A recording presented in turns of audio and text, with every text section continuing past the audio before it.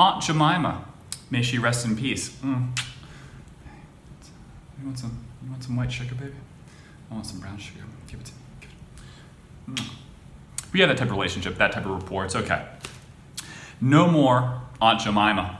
Pearl Milling Company, same coloration, same branding, more or less, you know, in terms of the subliminal nature of the red and the yellow, but it won't be Aunt Jemima on the cover, no. And I, I had this idea of a skit going to the grocery store and having, you know, a woman who's black, who's okay with the, with the, you know, the whole skit, like, just like, where, where, where am I? Where, where, Pearl Milling Company, I do declare, child, this ain't good, this is awful. Why are they doing this to me? Ben, Ben, why are they doing this to me, Ben? They're doing it because they think that it's racist. But this is who I am. I understand. Well, where's Uncle Ben? They got rid of him too? No, child! No! Uncle Ben! Oh, so handsome, like Denzel. I know. I know he is, but, you know, the, the, the woke people felt that it's just not logical that a chef from you know old-timey times could possibly be a small business owner and black. So they said it was racist, which I actually think is racist. Don't you? No way Uncle Ben could possibly have existed in real life. That's a caricature. Why don't you just look it up? Uh, books are lies. Fahrenheit 451. Yeah, that's about book burning in the press. Shut up! Shut your mouth when you talk. It's true though. Uncle Ben got rid. They got rid of him too, and he's real. It's not, it's not a caricature. I, I, I, I hoarded up on these. Look.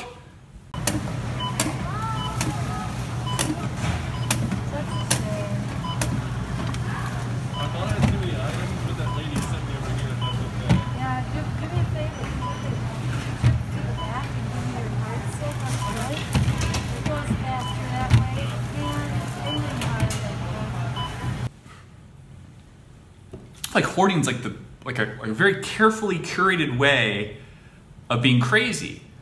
But collectibles is is different. I don't know if I'll keep them. I bet they'll be thousand dollars or something each in like a 50 years. Lots of that getting through three or four different moves and six divorces. I don't think. Mm, think I'm good. Darn. If you want them, please let me know in the comment section below. I'll send them to you. Happy to do it. On my Patreon, I think it's like the Aunt Jemima subscription or something. Like I'll give you like content, mention your name and stuff like that. I'll sign these for you and send them to you. Just join Patreon. Check it out the bottom. Smash that like button. Love me, love me, say that you love me. I know that you need me. I don't care about anything but you, and you, and also you, other subscriber, and you. Um, but yeah, this is bizarre. I, I, I, don't really, it's, it's a social engineering mechanism, like terraforming of crazy wokeness. It's nothing to do with like people actually care. I've never met someone who's like, you know, my mom used to use Aunt Jemima syrup. I used to tell her that's wrong. When was this? 15 years ago? Really? You told your mom that was racist? Yeah, I did. I said that that's racist. In what context did you think it was racist? It doesn't matter, Ben Ben. I know it's racist. Okay? Don't talk to me that way. I told my mother, and she's a little whore, and she wouldn't get new syrup. Like, what other syrup would you use? I don't know, log cabin, Mrs. Butterworth. That's a, you know, well, Mrs. Butterworth kind of that same kind of rotund. Are you fat shaming? Mrs. Butterworth is a, it, it's ambiguous. She could be a heavy-set woman that's beautiful and white. You don't know. I guess you're right. It seems like a knockoff, though, of Anchi. Shut up, Bin Bin. Racist.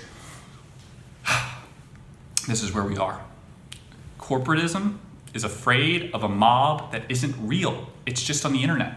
It makes you wonder, is it really there? Or is it being pushed by other corporate? What if you like, what is that, the, the, the guy that was trying to, it was going on all the message boards when Whole Foods was not called Whole Foods there was a comp- competitor called Wild Oats, or that was Wild Oats was Whole Foods. Anyway, the competitor to Whole Foods was going on trashing Fresh Fields. Wild Oats is the other one. Fresh Fields is the old name for Whole Foods. And he was going online on the message boards talking shit about, acting like a customer about Fresh Fields, which is now Whole Foods. Did I, did I get 50? And then now it's also Amazon Whole Foods. Eh, eh, eh.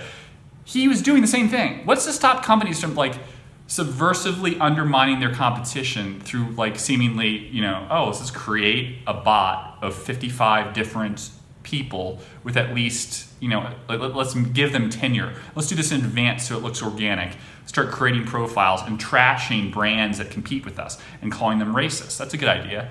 Why not? Corporate espionage in the most legitimate place in the world, social media, where everyone just follows along.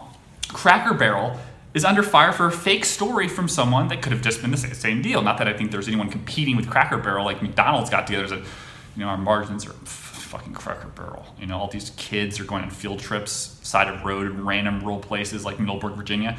We have to cake out Cracker Barrel. What are we gonna do? There's a whip. There's a whip in the in the logo, and there's a barrel. It's a barrel of crackers. White people, crackers, whips, black people, racism. Yeah, yeah, good idea. Oh my God. Yeah, I got money to go to the strip club tonight. I want a bonus, $55,000. Yeah. Sorry. Um, no, but that, that, that's the thing. This guy came up with this fake idea that the barrel on the depiction in the logo is a bunch of whips that uh, white people use, and because it has this old timey like southern thing to it, Cracker Barrel, this guy that oh, it's racist, and this is about this is this is about cracking whips on on, on slaves. It's not true. Uh, the Cracker Barrel is just like a table for eating barrels of crackers, maybe some cheese, maybe a nice bottle of Chianti. I don't know. It's just like why would that take like uh, like uh, people grab onto that? Well, they would because it's the angst. They like this. Oh my God, that black baby was shot 35 times. The police officer thought he was just selling crack. That's that police officer should be killed. So should his children. I hope that happens. Oh man, the new Tyler Perry movie out? Let's go. So yeah, it's just like weird. It's it's very like synthetic. How do you know the Twitter trending topics are real? How do you know anything about the algos that you see every day? Oh, this is this is what's real. This is what people are thinking about. I better inform myself. If I'm not part of this or don't agree with this, you feel less than. You feel like ostracized. You feel alienated. And the only connection you can get is through the internet now with this pandemic going on. And it further emphasizes this point. Like, I don't want to feel lonely and like kind of like isolated. I better just join the crowd. It's helped push everything forward. The watering hole for Scuttlebutt, you know, local store, I uh, can't go to the store because of the pandemic.